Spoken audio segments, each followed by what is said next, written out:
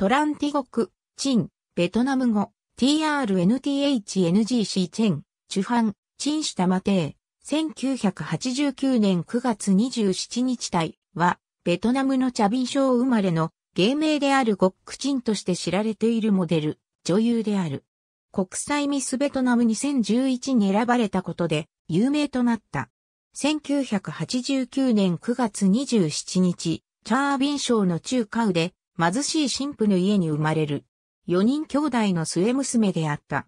実の母親は生後6ヶ月で重病に侵され、亡くなったため、ゴックチンと兄弟たちは父親に育てられる。ゴックチン神父は4人の子供を育てるためにタクシーの運転手までして生活費を稼いだが、それでも彼女は幼い頃から家族やママ母と多くの生活苦に直面した。15、16の年でベトナムのファッション業界へデビュー、ミスジュエリーのページェントを獲得する。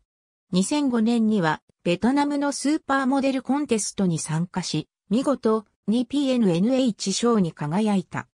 2011年に米国カリフォルニア州ロングビーチの美人コンテストミスベトナム国際の舞台で優勝し、スリムな体型と柔肌の美しいボディがメディアの注目を集める。